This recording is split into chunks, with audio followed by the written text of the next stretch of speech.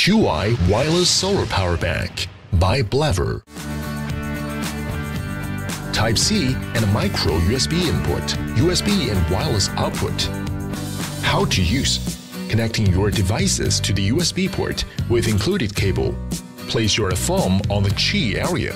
Press down the power button. The green charging indicator flashes and the charger will automatically charge your phone.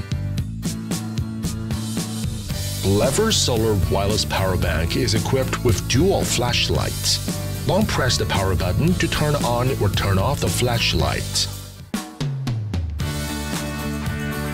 IPX4, splashproof, shockproof, dustproof, sturdy durable portable, always ready to go. Lever Power Bank is a great company for traveling, climbing, riding, business trip, holiday vacation, an awesome gift idea for families or friends. Wireless charger, solar charger, power bank, dual flashlight, compass kit ring.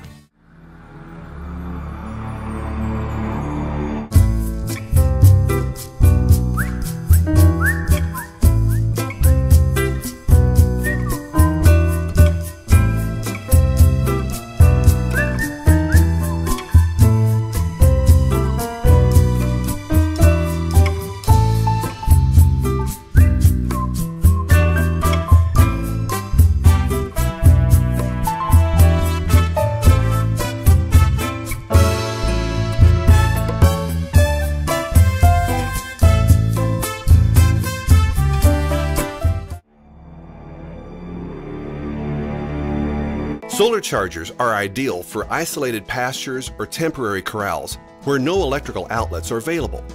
You can find solar chargers small enough to keep rabbits out of your garden, large enough to contain bulls, and everything in between. These batteries store the energy the solar panels produce from the sun.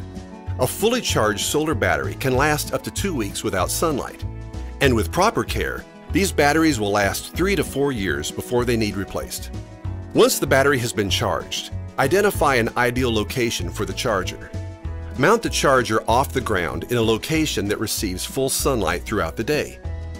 Face the solar panels toward noontime sun, which is south in the northern hemisphere. Make sure the solar panel is not covered with shade from nearby trees or buildings.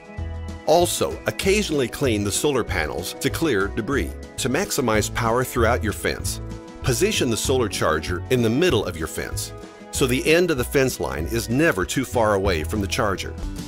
The sun shines on the solar cells, and these cells transfer the energy into a battery. The battery stores the energy to be released on your fence lines.